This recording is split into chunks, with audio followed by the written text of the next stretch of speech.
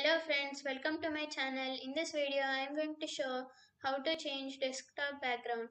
So this is the screen which I got defaultly when I bought this one device and to change this you can click right click and you can see this personalize option.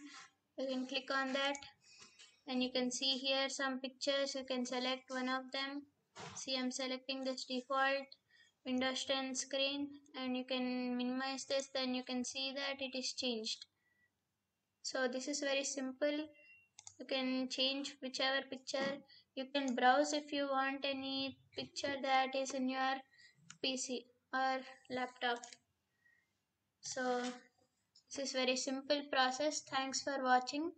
Please do subscribe if you if you didn't subscribe my channel. If you are having any doubts put it in the comments and I'll clarify.